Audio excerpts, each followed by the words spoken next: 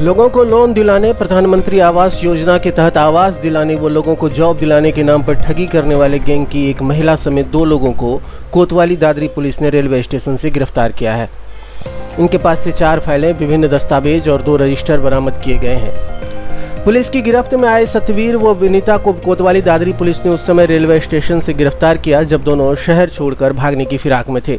Additional DCP Ashok Kumar ने बताया कि दादरी थाने पर गाजियाबाद के रहने वाले ब्रह्मदेव ने और पाँच अन्य लोगों ने शिकायत दर्ज कराई थी कि उन्हें प्लॉट पर मकान बनवाने के लिए लोन देने के लिए दादरी के रेलवे रोड पर स्थित जीएस एंटरप्राइजेज पर संपर्क किया। यहाँ पर मौजूद सतवीर सिंह और विनीता ने लोन दिलाने की बात कही।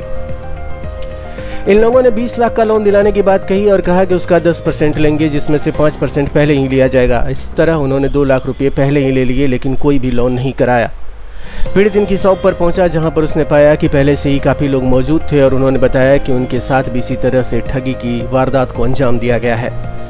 एडिशनल डीसीपी ने बताया कि इसके बाद पीड़ित ने सभी लोगों के साथ मिलकर दादरी पुलिस से इसकी शिकायत की। शिकायत के अनुसार दोनों आरोपी भरोसा दिलाकर अपनी कंपनी जीएस एंटरप्राइजेज के नाम पर आधार कार्ड पर लोन दिलाने, प्रधानमंत्री आवास योजना के तहत आवास व लोगों को जॉब दिलवाने के नाम पर लोगों से लोन की कमीशन की कुल राशि का दस प्रतिशत तय करते थे। कमीशन की पाँच प्रतिशत धनराशि फ़ाइल चार्ज के नाम पर पूर्व में ही कैश या फ़ोन पे या पेटीएम से ले लेते थे। पुलिस ने मामले में कार्रवाई करते हुए मुकदमा दर्ज कर लिया और जाँच में जुट गई। पुलिस को पता चला कि यह दोनों आरोपी कहीं भागने की फिराक में है। इस दौरान पुलिस ने दबिश देते हुए सत्यवीर और विनीता को रेलवे स्टेशन से गिरफ़्तार कर लिया।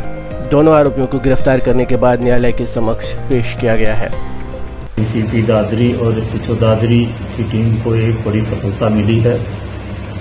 इन लोगों द्वारा वादी श्री ब्रह्मदेव शर्मा व अन्य पाँच पीड़ितों की शिकायत पर लोन लेने के नाम पर लोगों से रुपए लेना और धोखाधड़ी करना तथा लोन न दिलवाने के मामले में डिडक्टिव एनालिसिस और मैनुअल इंटेलिजेंस का इस्तेमाल करते हुए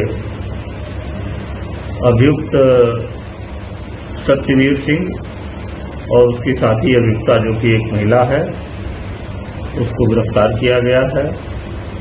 इनके पास से फाइलें, रजिस्टर और विभिन्न अन्य दस्तावेज़ बरामद हुए हैं।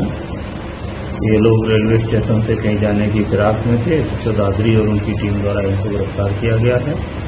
और पूछताछ के आधार पर संगत धाराओं में इनको जेल रवाना किया जा रहा है तथा तो इनसे जो विवेचना में अन्य साज संकलन है, वो तत्परता से करके इसमें इनके विरुद्ध कड़ी कार्रवाई सुनिश्चित कराई जाएगी।